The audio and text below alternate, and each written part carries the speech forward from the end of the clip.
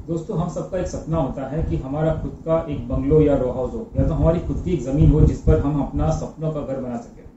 लेकिन क्या आप जानते हैं कि बहुत जो प्लॉट पर आप अपना खुद का घर बनाना चाहते हो, उसमें अलग अलग टाइप के प्लॉट्स होते हैं। और कौन से टाइप के प्लॉट पर आपका घर बनाना सेफ़ हो सकता है, या तो रिस्की हो सकता है? तो ये मैं आपको दिखाऊँगा इस वीडियो में, जिसमें मैं आपको बताऊँगा कि एन प्लॉट और आर जोन प्लॉट में क्या डिफरेंस है। और अगर आप आर जोन प्लॉट लेते हो तो उसमें कौन कौन से रिस्क इन्वॉल्व है?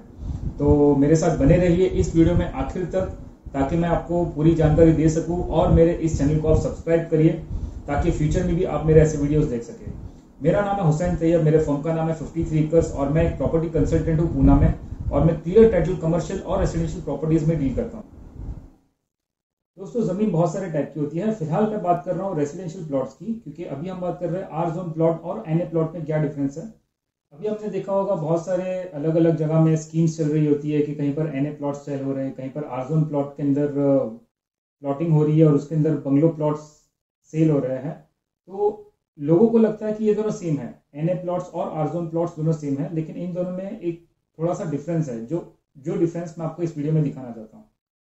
तो आपको कैसे पता चलेगा कि ये जो प्लॉट जो आप लेना चाहते हो एन ए प्लॉट है या आरजोन प्लॉट है?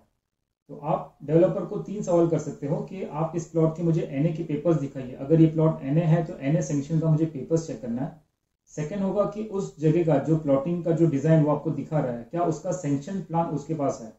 अगर वो जगह एन ए है तो उसके पास उसका सेंक्शन प्लान होगा, वो प्लान आपको दिखा देगा।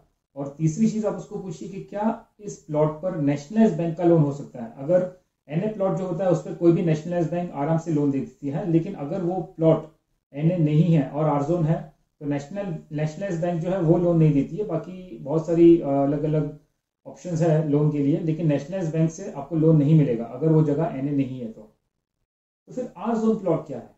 आर जोन प्लॉट का मतलब होता है रेसिडेंशियल जोन आर जोन यानी कि रेसिडेंशियल जोन उसका मतलब ये हो गया कि उस जगह में जहाँ पर वो प्लॉटिंग हो रहा है, उस जगह में रेसिडेंशियल के लिए सारे रिसोर्सेज अवेलेबल है। जैसे कि वहाँ पर उस लोकेशन में पानी अवेलेबल है इलेक्ट्रिसिटी अवेलेबल है ड्रेनेज की लाइन अवेलेबल है, ये सारी चीज़ें उस जगह में अवेलेबल है।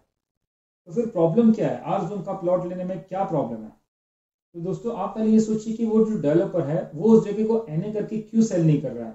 सबसे उसमें दो चीज़ें होती हैं। पहली चीज़ क्या होती है कि किसी भी प्लॉट को एन करके कन्वर्ट करके उसको सेल करने में बहुत सारे कॉम्प्लिकेशन होते हैं। उसमें बहुत सारे लीगलिटीज होती है, बहुत सारे पेपर्स चेक होता है गवर्नमेंट के अंदर और उसके बाद उसको एनए का सर्टिफिकेट मिलता है।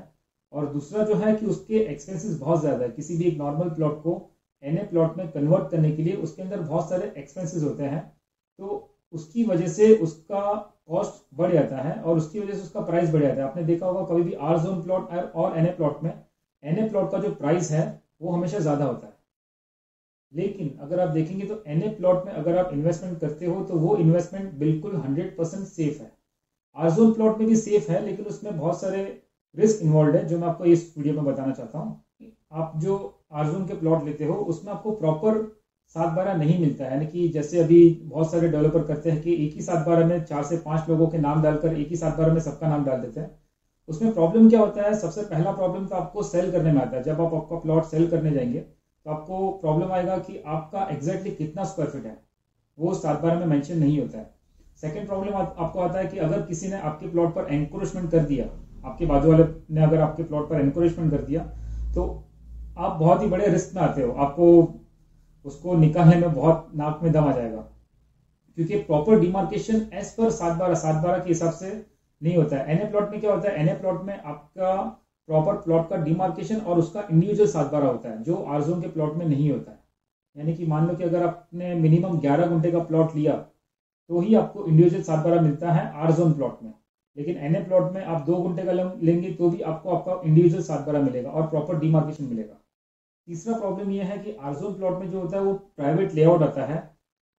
नॉर्मल सेंक्शन लेआउट नहीं होता है। जो नॉर्मल एन का जो सेंक्शन लेआउट होता है उसमें प्रॉपर अठारह फीट का रोड होता है एम स्पेस होता है। लेकिन आरजोन प्लॉट में आपने देखा होगा छह फीट या मैक्सिमम बारह फीट का वो लोग रोड देते हैं। और वो भी वापस आपके ही प्लॉट से कट करके देते हैं। नॉर्मली आपने देखा होगा कि एक घंटे का प्लॉट जो होता है तो एक घंटे का मतलब होता है one zero eight seven square feet जो आज की तारीख में लोग हज़ार स्क्वायर फीट जितना बोलते हैं, एक घंटा यानी कि हज़ार स्क्वायर फीट बोलते हैं। लेकिन आर के प्लॉट लेंगे तो उसमें आपको एक घंटे के अंदर आपको वो 800 या साढ़े आठ स्क्वायर फीट ही देगा। बाकी के डेढ़ सौ डेढ़ सौ या दो स्क्वायर फीट वो प्लॉट में रोड के लिए कट कर देता है। अभी अगर आप कैलकुलेट करेंगे, मान लो कि अगर आपने 10 लाख रुपया घंटे का प्लॉट लिया और आपको लग रहा है कि आपने हज़ार स्क्वायर फीट लिया, लेकिन आपको मिल रहा है 800 या साढ़े आठ सौ स्क्वायर फीट तो अगर आप आपका पर स्क्वायर फीट काउंट करेंगे तो वो आपका हज़ार स्क्वायर हज़ार रुपया पर स्क्वायर फीट नहीं होता, कम से कम बारह सौ या बारह सौ पचास रुपया स्क्वायर फीट हो जाता है। अब इसमें जो डेवलपर होता है, वो क्या करता है? डेवलपर क्या करता है कि वो आपको, आपकी जितने भी लोगों ने वो प्लॉट लिए होते हैं, उस लेआउट के अंदर जितने भी लोगों ने प्लॉट लिए होते हैं, वो उन सबकी एक सोसाइटी फॉर्म करता है और उन सबको एक शेयर सर्टिफिकेट दे देता है। जो एक लूप होल है जो इसमें फिफ्टी परसेंट आप सेफ़ हो जाते हो इसमें, अगर आपका खुद का एक शेयर सर्टिफिकेट अगर वो डेवलपर बना के देता है तो आपको थोड़ा सा सेफ्टी मिल जाता है। तो इतने सारे प्रॉब्लम होने के बावजूद क्यों लोग आरजोन के प्लॉट्स लेते हैं? इसके बहुत सारे रीजन है। पहली चीज़ है कि lack of knowledge for example लोगों को पता ही नहीं है कि आर जोन के अंदर और एनए के अंदर क्या डिफरेंस है। दूसरी चीज़ है कि उसका प्राइस हमेशा कम होगा। आर जोन के प्लॉट होंगे, वो एनए के प्लॉट से बहुत ही सस्ते होंगे। उसमें कॉम्प्लिकेशन बहुत ही कम होते हैं। एनए के अंदर आपको क्या है कि बहुत ही प्रॉपर पेपर्स आपको सबमिट करने पड़ते हैं और सब पेपर्स क्लियर होंगे तो ही गवर्नमेंट की तरफ़ से एनए का सर्टिफिकेट मिलता है, वरना नहीं मिलता है। आरजोन प्लॉट में ऐसे कुछ नहीं है। तो अगर आपने प्लॉट ले लिया और फ्यूचर में अगर किसी ने आकर बोला कि भाई ये प्लॉट मेरा है और अगर उसके पास उसके पास सपोर्टिंग डॉक्यूमेंट्स है तो भी आपको लिटिगेशन आपके प्लॉट में लिटिगेशन हो सकता है फ्यूचर में। चौथी चीज़ क्या है कि ब्रोकर्स को इसमें कमीशन थोड़ा ज़्यादा मिलता है। आरजोन के प्लॉट्स अगर वो सेल करेगा तो उसको कमीशन थोड़ा ज़्यादा मिलता है तो वो इंसिस्ट करता है कि वो एन ए प्लॉट की जगह आरजोन के प्लॉट सेल करे। डेवलपर्स बहुत डेवलपर्स भी बहुत सारे इमोशनल गेम्स इसमें खेलते हैं।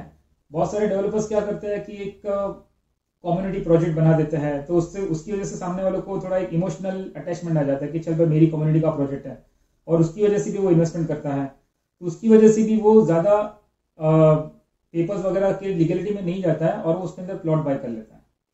तो दोस्तों, मेरा वीडियो देखने के लिए बहुत बहुत शुक्रिया। आप मुझे कमेंट में लिख सकते हो कि आपको कौन कौन से टॉपिक पर आपको वीडियो देखना पसंद है।